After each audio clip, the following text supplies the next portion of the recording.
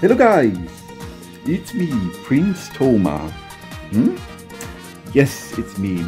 And look, hmm? Hi! Oh. Here comes Daisy! Hmm? With sunglasses. Oh yeah. Yeah. I have something special for you. And this is, look, hmm? it's my pendant. Hmm? Cool! Andrea from Sweden? A very wonderful pendant. Hmm? Sweet! And that is uh, the symbol of my channel. Uh-huh! is my symbol for Prince Toma. Yeah!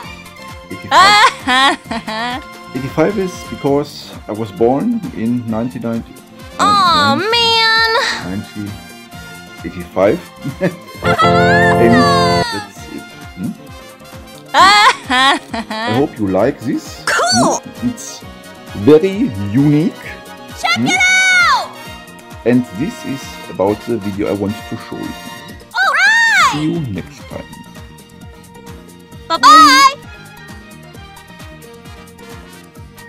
Hey guys, it's me, Prince Toma again. Hmm? I forgot to mention something very important, and that is the peach in my symbol.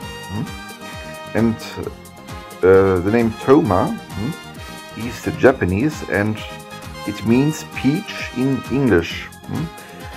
Prince Toma is an uh, anime character from Ranma, so that's about now you know where my name is from.